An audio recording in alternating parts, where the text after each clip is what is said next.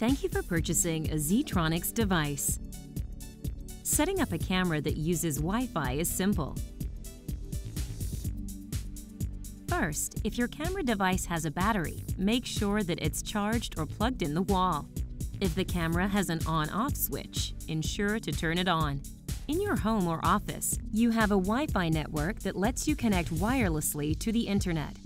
Your phone is connected to the network using a Wi-Fi signal. We are going to use that Wi-Fi signal to connect directly to wireless camera. From your phone or tablet, download the TinyCam app from the Apple Store or Google Play.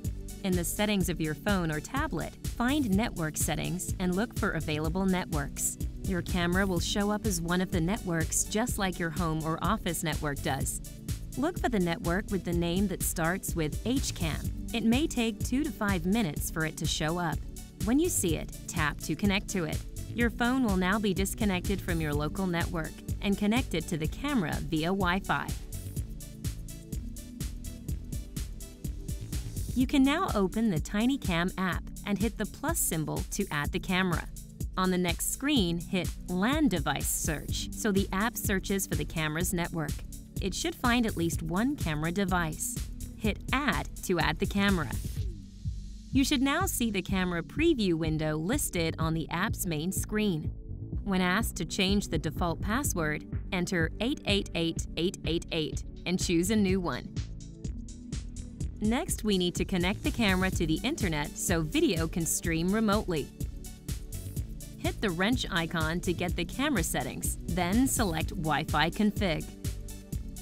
You will see a list of detected Wi-Fi networks. Select your local network or the same network your phone or tablet was originally connected to and enter the password. If you don't know the password, contact your internet provider. Finally, you can go back to your phone settings and also reconnect your phone back to your local network.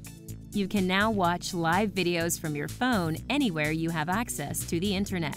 On the TinyCam app's main screen, tap the Preview Video screen to watch live manage recorded media, or use the camera's more advanced features.